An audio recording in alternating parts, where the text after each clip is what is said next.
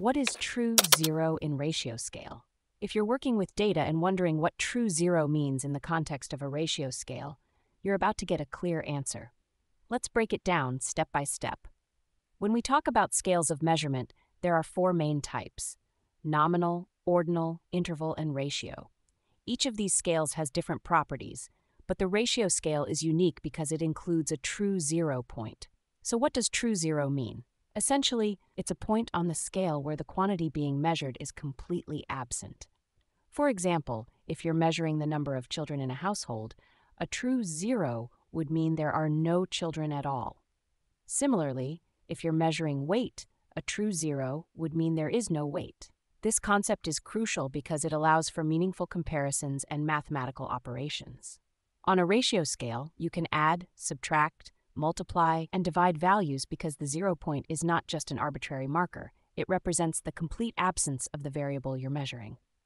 To illustrate this, consider temperature scales. While Celsius and Fahrenheit are interval scales, where zero is just another temperature value, the Kelvin scale is a ratio scale.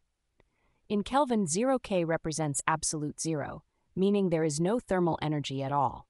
This allows you to say that 40K is twice as hot as 20K, which is not possible with Celsius or Fahrenheit. Another example is money. If you have dollars, it means you have no money at all. This true zero point makes it possible to calculate ratios, such as saying one person has twice as much money as another if one has $100 and the other has $50. In summary, the true zero in a ratio scale is what makes it so powerful for data analysis. It provides a real starting point from which all other measurements are made, allowing for precise and meaningful calculations. This is why ratio scales are often preferred in scientific and statistical analyses because they offer the most precise and versatile form of measurement.